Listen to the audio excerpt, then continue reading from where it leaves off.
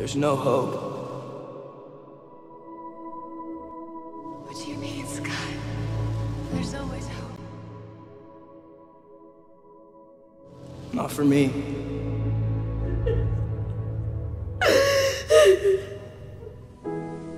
I want you to close your eyes, please.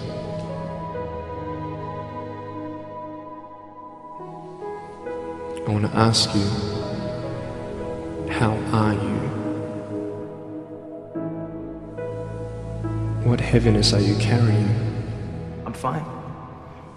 What tears do you hold back?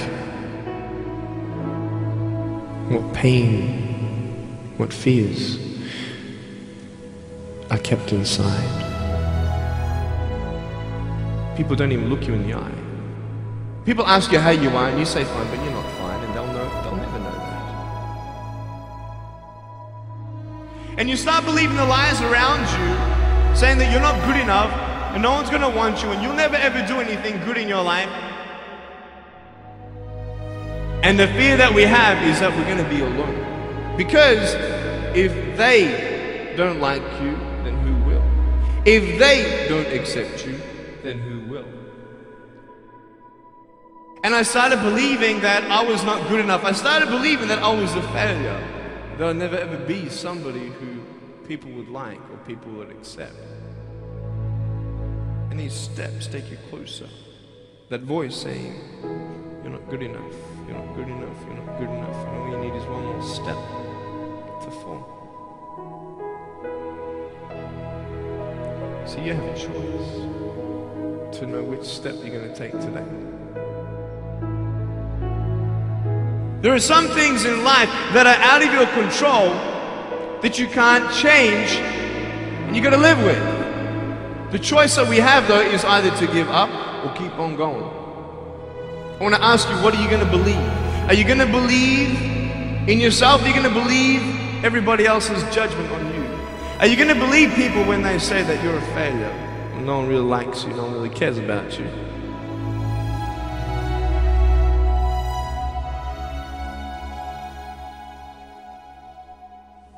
You don't have to hold on to those fears. You just take one step at a time.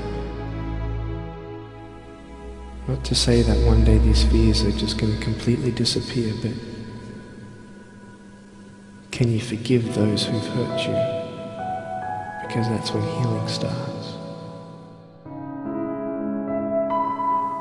Every time someone puts you down, will you make a decision to bring somebody else up?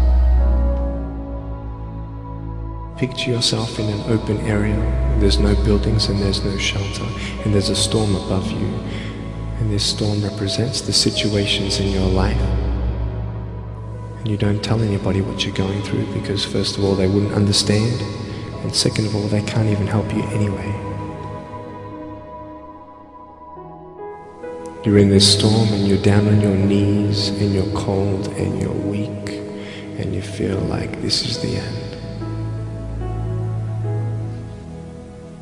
Are you not still here?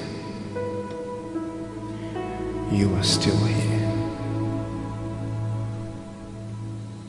You don't have to do this alone. But hold on to that person who you think might help you.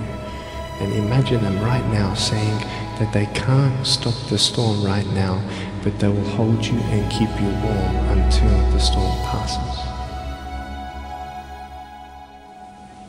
Because when they hold you, the storm's still there, but it's okay. Because they're with you all the way.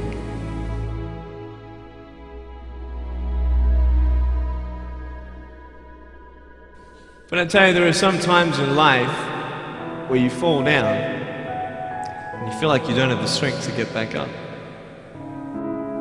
Give up or get up. When you fail, try again. And it's not the end until you've given up.